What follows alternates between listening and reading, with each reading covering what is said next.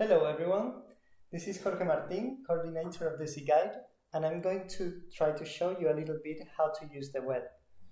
As you know, C-Guide is a tool to explore contemporary architecture in the context of the development of our current cities. In order to achieve this goal, we have designed a tool with two different parts. A phone application, which helps you explore the city while being in the street, and a web, which I'm showing you now, where you can explore the world from the map.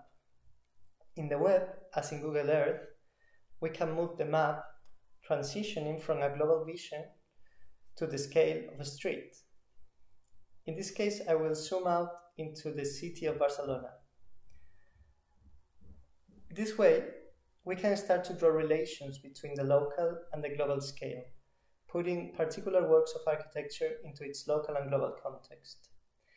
The works that you can see on the map correspond to the images that you can, that, that you can see in the bottom of the web.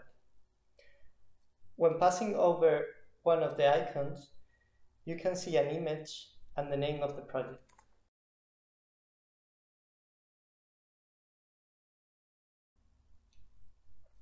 On the top right side, we can see a cloud of tags that correspond to the works that are shown on the map providing a new layer of reading.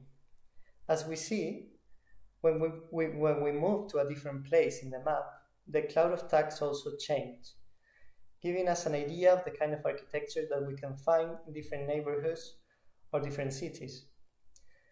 We can also select one of the tags, activating this way only the corresponding projects.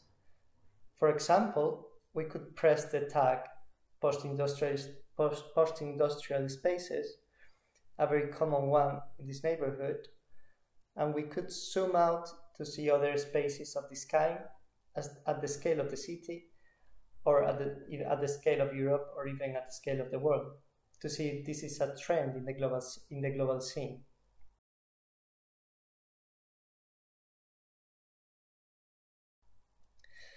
When we press the icon of the work, we access the profile of the building where we can see images that include plans and sometimes even images of the process of design.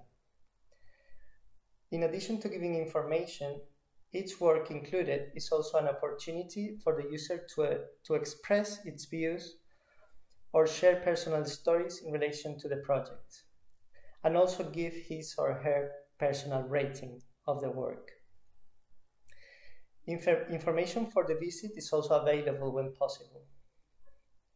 The, use, the user can also share the project, the project in social media and can also add it to her personal lists. For example, preparing um, a visit to a city.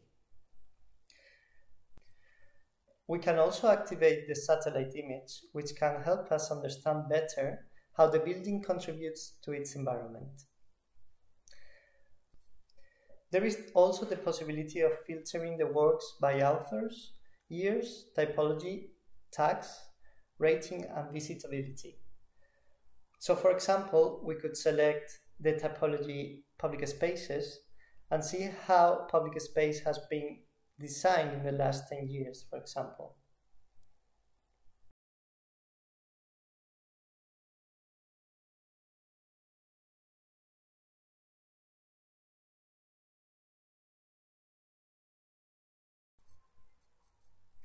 I'm going to leave it here to make it brief. I hope you enjoy the tool in the future. Thank you very much for your attention and have a wonderful day. Goodbye.